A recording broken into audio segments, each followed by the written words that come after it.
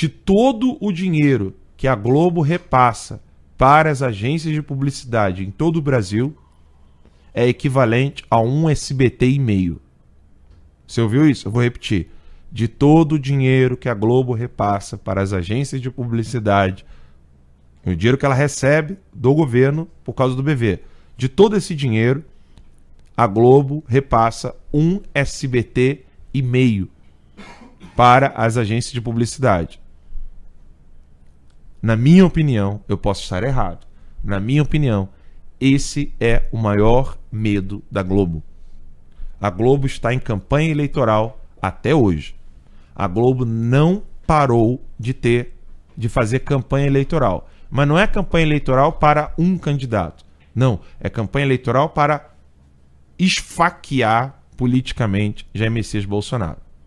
O Bolsonaro teve alta médica, ficará alguns dias em recuperação domiciliar e ele já desmentiu a Globo numa matéria que saiu na, na Veja, né, no Instagram dele. Mal chego em Brasília e já estou tendo que desmentir uma fake news.